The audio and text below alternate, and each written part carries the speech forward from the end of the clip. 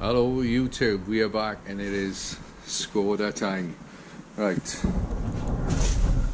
I am going to show you around this little beauty that we recently bought. If you saw the last video, you would know what is going on here. Had a bang on this front corner and we are going to today pull it apart um, look at the suspension and see exactly what's wrong with it because I mean it's pretty obvious isn't it that that is like it's better than race spec camber that is full on drift camber so the car is uh, no doubt taking a whack here bent the suspension um, so until I actually pull it off I don't know the full extent of the damage but uh, I've got a pretty good idea what's wrong with it. We've got scuffs along the front bumper. I think we can clean up and wax a lot of them. But before we get into pulling it all apart, you're probably going to want to know how much I paid for it. So first of all, it's a 2014 and it's uh, one litre Citigo. Now, see that green there? I think that means it's the green tech version. I've looked it up and it does appear to be the green tech version. And what that means is free tax. Also, it's got the stop start feature. Don't know if I'm too bothered about that. See what the wife thinks of that when she drives it, but I'm pretty happy with free tax. But even if it was, it's only 20 quid. I think as well they got more power.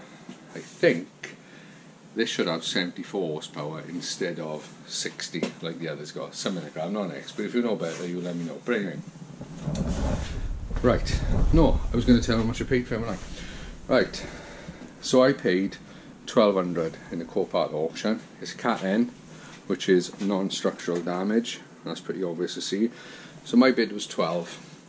Fees were 263. So 1463 to get it out the Copart, £100 to get it delivered. Um, so that takes me to 1563. And I don't see this costing a lot to repair. Um, I've already got a wing in the same colour. I've already got the suspension. I think I've got pretty much most of what I need. Didn't cost me much, but I'll cover that in another video. The plan for today is to strip it down, have a look how much damage is on it, show you what uh, we've got to do. Next video will be starting to put it all back together. So first thing I'm going to do, jack it up, take the wheel off, and then we can start having a look at the suspension see how much damage has been done to it.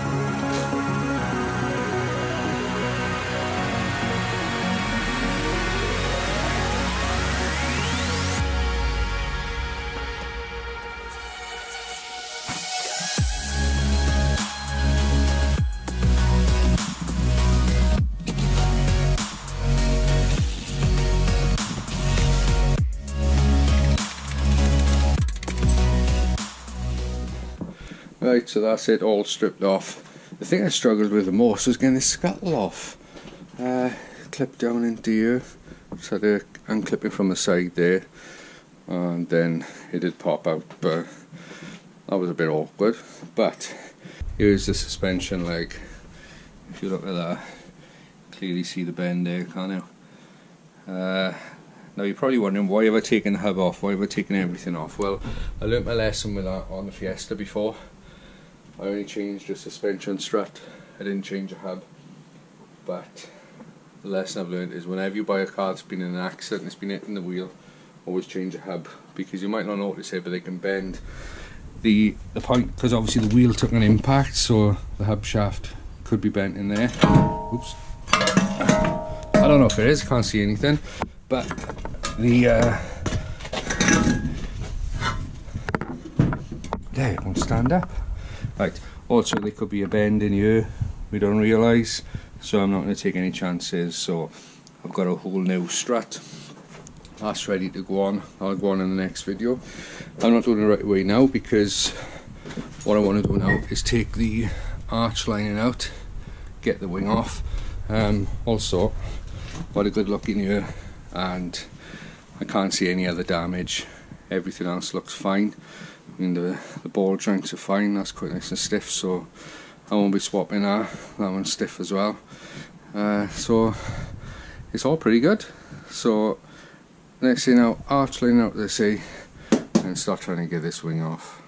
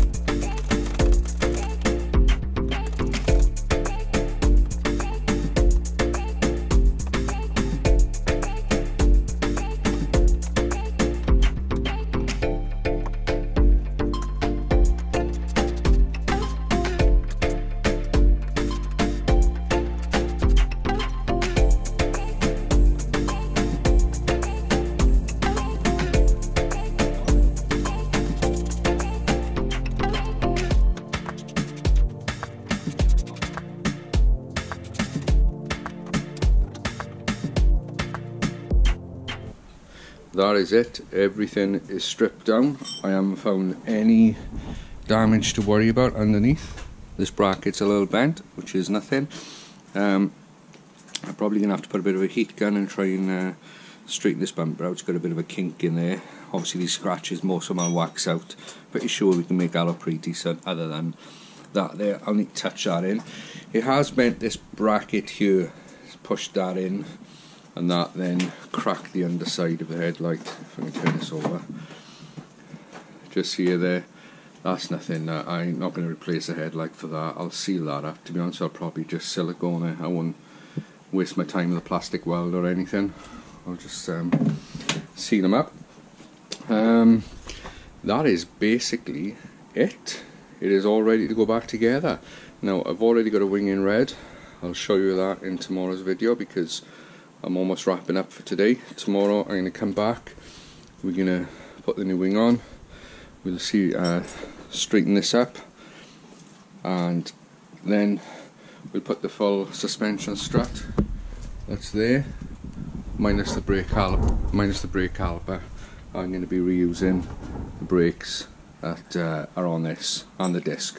So that's pretty much it. Oh, one thing I didn't tell you earlier in the video um, it's done 43,000 miles so I know you're going to want to know that. So I'm pretty happy with this I'm pretty chuffed.